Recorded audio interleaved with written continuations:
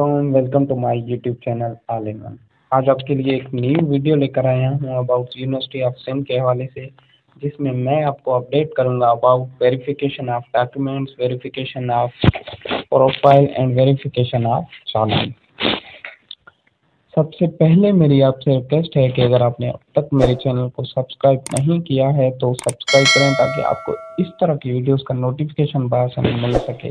तो आज की वीडियो में मैं आपको बताने वाला हूँ कि बहुत सारे स्टूडेंट्स के क्यूरीज आ रहे थे कि, सर, हमारा जो प्रोफ़ाइल है वो वेरीफाई नहीं हुआ है अब तक एंड जो चालान है वो वेरीफाइड हो चुका है और जो एडिशनल डॉक्यूमेंट्स हैं वो भी अब तक पेंडिंग में है।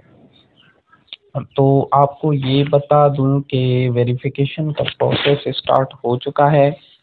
यहाँ इन सब में जो मेन चीज़ होती है, वो होती है चालान। चालान हमारा वेरीफाइड हो चुका है तो इसका मतलब है हमारा जो स्लिप है, वो आसानी आ जाएगा। जो प्रोफ़ाइल फ़ोटो है और जो एडिशनल डॉक्यूमेंट्स हैं, ये भी वेरीफाई बाद में हो जाएँगे।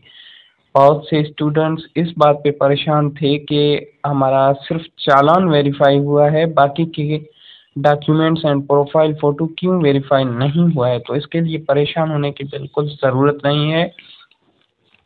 ये भी बाद में वेरीफाई हो जाएँगे। चालान वेरीफाई हो चुका है। इसका मतलब यही है कि जो वेरिफिकेशन का प्रोसेस है, वो स्टार्ट हो चुका है। और ये बात भी हमें पता होनी चाहिए, अगर वेरिफिकेशन का प्रोसेस स्टार्ट हो चुका है तो मतलब इंट्री टेस्ट भी अब बहुत जल्द कंडक्ट किया जाएगा। ये थी आज की वीडियो अगर वीडियो पसंद आई हो तो काइंडली लाइक करें शेयर करें एंड सब्सक्राइब करें। और सिंध यूनिवर्सिटी और दीगर यूनिवर्सिटीज़ के बारे में आपका कोई भी क्वेश्चन है तो आप कमेंट बॉक्स में मेंशन कर सकते हैं।